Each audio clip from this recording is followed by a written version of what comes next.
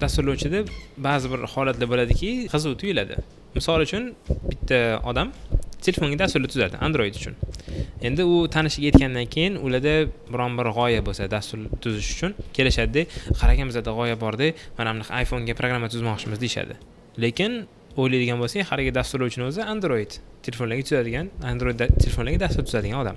U iphonega tuzib bera olmaydi undan tashqari yana bo'ladi ba'zilar misol uchun sayt qiluvchilar bo'ladigan bo'lsa ularga tanishlik berish mumkin. Mana kompyuterga programma qilib bergan yoki e, do'konim bor edi kassadagi post apparatlariga post apparatini qilib berish kerak post kassa o'shani qilib bergin deyishadi lekin u umumiy tushuncha bo'lmaganligi uchun ya'ni dasturlash o'zi bir necha sohalarga bo'linganligini bilmaganligi uchun shunaqa so'rov bilan kelishadi.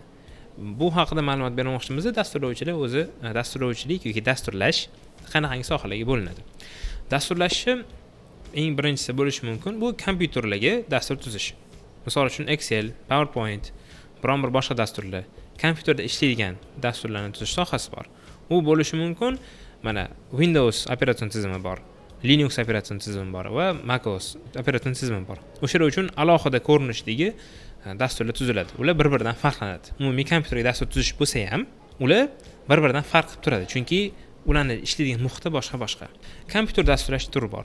Undan keyin telefonga dasturlar tuzish bor. Telefonga dastur tuzish o'zida ham telefonlarimiz bor. Android os android operatsion tizimi iphonelarda ios operatsion tizimi va deylik windows bo'lardi. Keyin oldinlari anavi java da ishlaydigan oltmish ikki o'ttiz uchlar bo'lardi kichkina jar fayldagi o'yinlar o'ynab o'tirardi. Hammasi bir biridan farq qiladi u bo'layotgan ekan mobil dasturlashda telefonlarga dastur tuzishda android ios windows telefonlariga dasturlashishi turli xil bo'laklar bo'lishi mumkin va ular uchun tuziladigan dasturlar kodlar ham alohida alohida yoziladi. Ularni ham mutaxassisi alohida bo'ladi. Keyingi sohaga o'tamiz. U veb dasturlash. Saytlar tuzish veb ilovalar tuzish. Uni o'zida ham veb dasturlarda u brauzerdan kirib ishlatishingiz mumkin chrome opera firefoxlardan. Ularga qanaqa mutaxassislar kerak bo'ladi? Uni ichida deylik dizayner ishini e, chiqarib tashlaydigan bo'lsak uni ko'rinishini qilib beradigan mutaxassis bo'ladi. Uni mantiqiy qismini qilib beradigan mutaxassis bo'ladi. Keyin mantiqiy qismini qiladigan mutaxassis deylik ma'lumotlar omborini boshqaruvda ishlaydigan bo'lsa aynan shu ma'lumotlar omborini optimallashtirib beruvchi ma'lumotlar ombori bo'yicha mutaxassis bo'ladi database bo'yicha. Va yana shu atrofida boshqa kichik sohalar bo'lishi mumkin. Veb dasturlash o'zida ham mana hozir ko'rdik uchtasi bor ekan. Frontendchi bekendchi va ma'lumotlar ombori bilan ishlaydigan kuchliroq mutaxassis. Va uni yoniga qo'shishimiz mumkin xavfsizlik bo'yicha mutaxassisi ya'ni e, security deydi. E, saytga hujum bo'lishini oldini oladigan e, hech kim xakerlar buzolmaydigan bo'lishga umumiy himoyani tuzib beruvchi shu bo'yicha harakat qiluvchi dasturlovchi. Uni endi alohida xavfsizlik mutaxassisi deb bitsak ham bo'ladi. Undan boshqa yana dasturlash sohalari bor. Biron bir stanoklarga qurilmalarga kod yozib beradigan.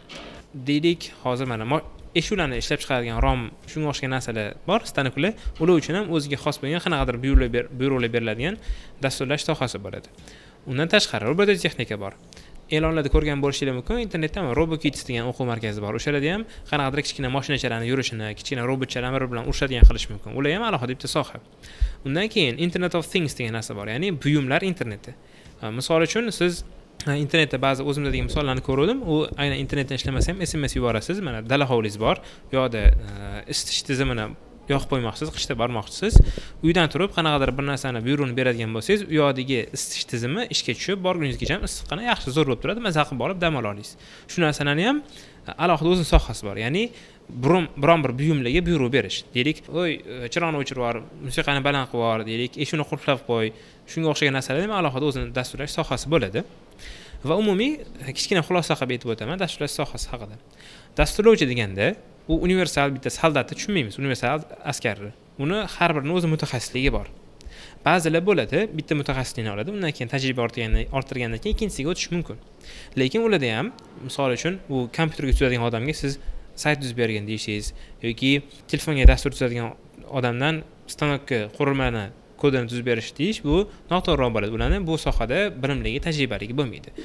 Bu videoda umumiy ko'rib chiqdik dasturlash sohalarini. Ular bor ekan kompyuterga telefonga saytlarga e, veb ko'rinishidagi saytlar tuzish qismi dasturlashi e, qurilmalarga va buyumlarga kod yozish turkumlari. Umumiy olganda mana shular eng asosiylari deyishimiz mumkin yana boshqa bo'laklari ham bo'lishi mumkin. Hmm, ho'p bugun dasturlash sohalari haqida gaplashdik keyingi videomizda dasturlovchi o'zi kim va kimlarni dasturlovchi demaganimiz yaxshi.